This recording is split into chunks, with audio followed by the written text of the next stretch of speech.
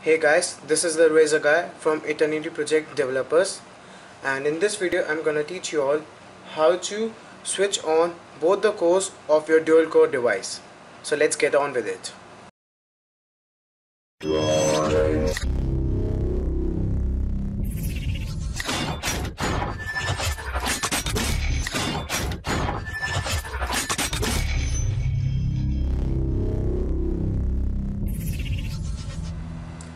So guys, before you begin, you have to make sure that your device is rooted.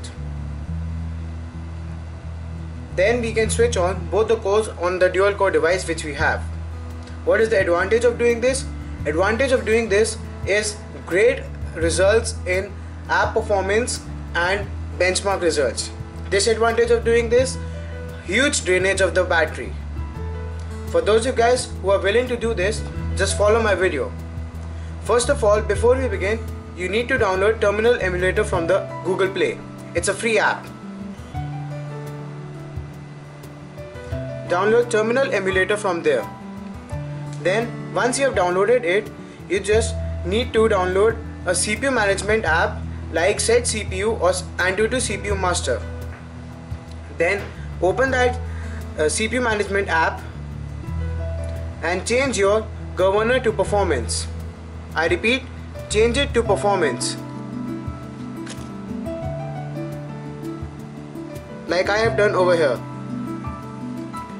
Now the next thing which you need to do is open Terminal Emulator app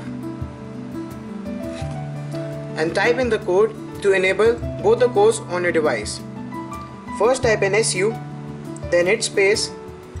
It will either ask you to allow super user access or if you have already allowed super user access then continue on with it. Then type in the following code echo space 1 space put a greater sign space slash sys slash devices slash system slash CPU slash CPU 1 slash online.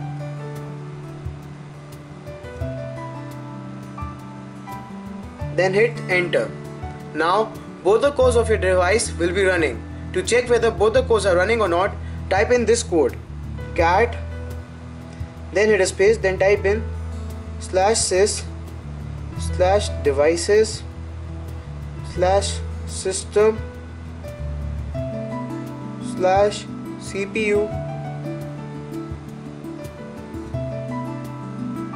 slash CPU 1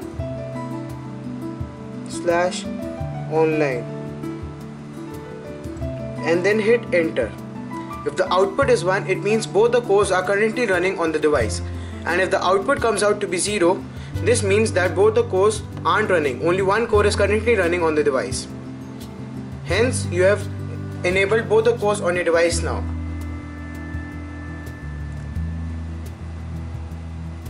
I hope you guys liked my video. Please comment and subscribe. Thank you.